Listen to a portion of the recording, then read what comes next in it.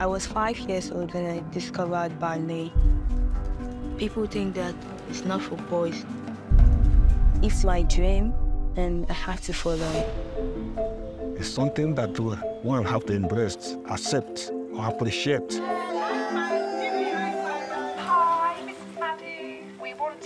Talk to you about Anthony, your son. He had so much raw talent that we are interested in at the school. You must be very proud. I'm very proud of him. And I can't believe that I'm going to be schooling in England for seven years. I'm happy for you, my son. Thank you for making me proud.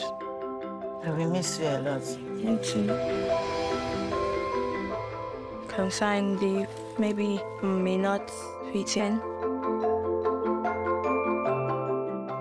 Strong in your centre, boys! Shouldn't be any mistakes. You think this is hard, wait until the summer show.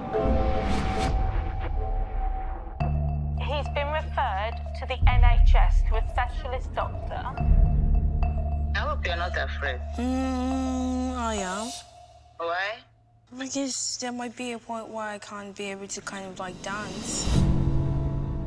Boom, boom, boom, boom, boom.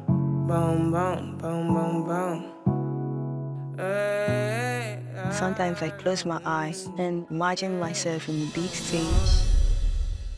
I'd like to know, did you have a story? Set me free.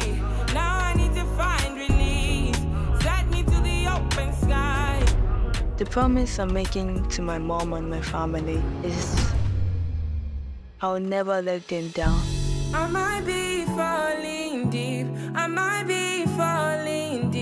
I might be falling deep. I might be.